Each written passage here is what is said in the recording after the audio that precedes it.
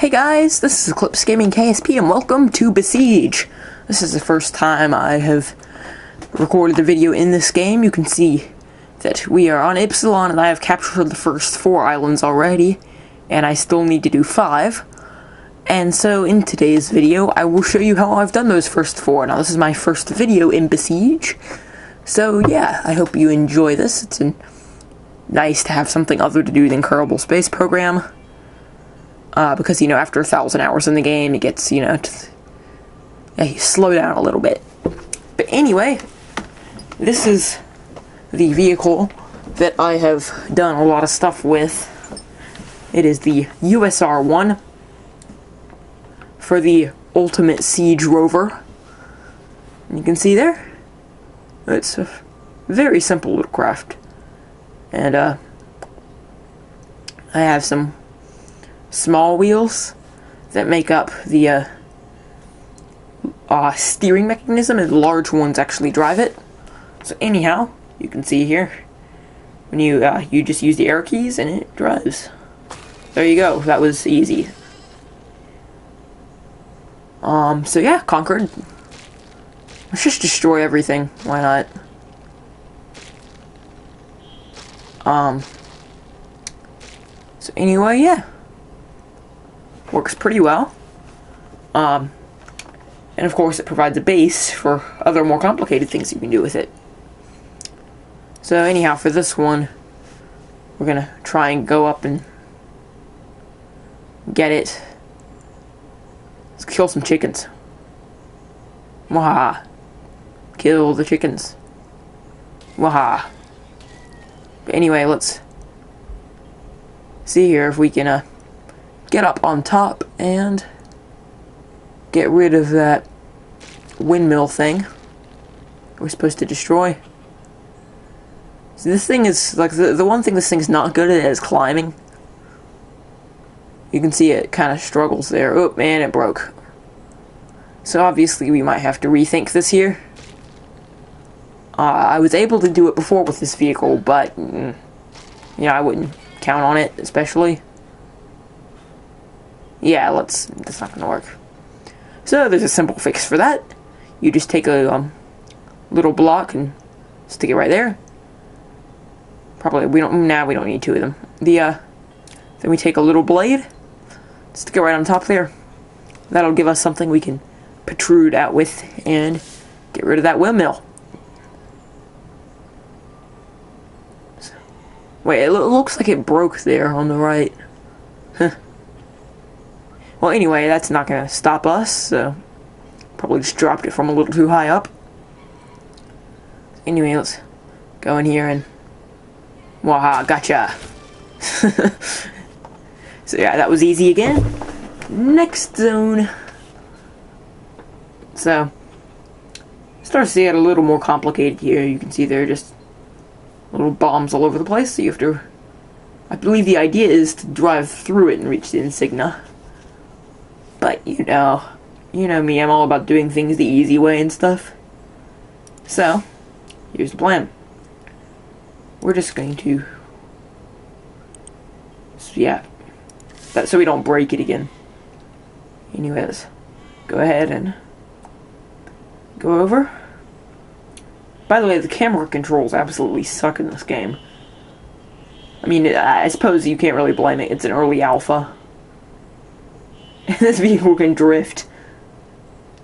It, yeah, that's interesting. Anyway, let's go in and get rid of that column. Ha! Screw you, column. We don't need you. Boom. so we spectacularly conquered it. Yes. Beautiful. Some flaming wreckage going all over the place. Zone conquered. Man, I love this game so much. Alright, so this one they're going to immediately start shooting at me, so I better back up. Alright. You can see they're falling short as I back away. They're not particularly smart because, you know, if I were there, I would aim slightly ahead of where I would need to so it would actually hit me. But, you know, they're dumb. They're in a video game, so screw it. Anyway, we have to destroy those two structures. Now, obviously, I'm not going to have much time because those arrows actually can do quite a lot of damage to wood. So what I'm going to do is I'm going to try and hit the windmill in such a way where it falls onto the little house, making both of them collapse. At least that's the plan. And we're starting to get some destruction here, and boom. Perfect. Alright, this is turning out to be pretty easy, I think. Now, this one is pretty hard. Uh, with this one, about the best you can do is spin around in circles. Oops. You know, you spin around in circles, try and get as many of them as you can, but they're still going to eventually wreck your craft. You can see, you know, we got pretty close to getting them all, but, you know, close is not good enough, and my craft is wrecked. My craft is wrecked. So, um, what we're gonna do here is, you know, I've, I've, got this idea on how to do it. I've obviously not done this level before, but you know, let's go ahead. Sure, overwrite. So that's that, that's our USR one for now. But let's try and. I'm gonna build something. Where's the trash button? What about? Oh, there it is. There. Now I've got this idea where if I put like some saw blades on each side, it will just charge right through them, destroying them all. So you know that that ought to work to get at least some of them out of the way. Alright, so it'll just charge right through them probably. And uh, let's see here. Looks good enough for now. It's like a very simple little. Oh my god! It doesn't charge; it spins. This is brilliant. Oh my god. That thing is like the jumping saw blade demon of death. like if you saw this thing coming towards you, that, that, that would like it would almost be psychological warfare right there. So yeah, this is working pretty well. Imagine if we had so many of these. Like imagine if we had ten of these coming towards them, or even five. I mean, they would be so chaotic. And there you go. That ought to do it for now. Seven of them. Whoa. Oh my god.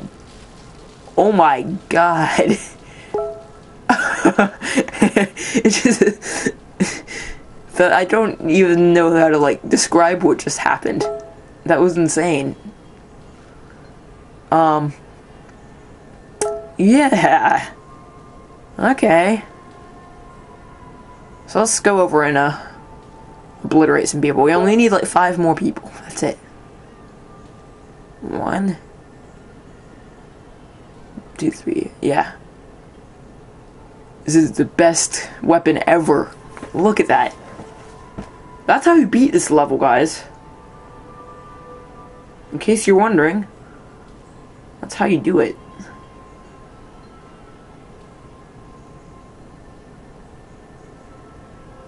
Alright, we only need like one more person. One more person. That's all I need. One more person. Yes! Sound conquered. Alright. Well, there you go. That's the first five of them. And you notice this one. Steal and deliver. Okay. Well, that will be in the next episode. Uh, that'll probably be something to do with the USR 1. Let's save this craft. Chaos Blades. So yeah, stay tuned in for the next episode, which will come in two weeks. Until then, I've been Eclipse Gaming KSP, and until next time, explode responsibly.